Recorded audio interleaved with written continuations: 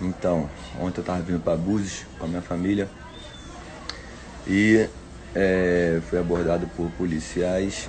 Tava com uma pequena quantidade de maconha para uso próprio, obviamente.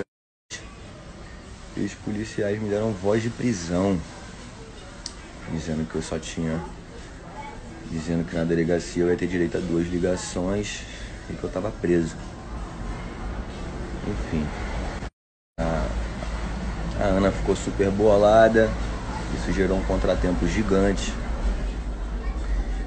Tive que voltar mais 15 quilômetros de onde eu tava. Perdi um tempo fudido na delegacia, continuando.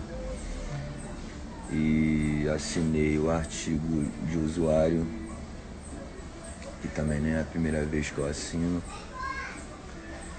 E resumindo, resumindo muito, foi isso que aconteceu ficou tudo bem. Quero agradecer imensamente a vocês pelo carinho de vocês nas redes sociais aí por mim. Foi um dia bem cansativo ontem. E agora vamos descansar aqui e ficar de boa. Valeu, galera. Obrigado pelo carinho de vocês. Aproveitando esse hype aí que, que me deram, esse hype negativo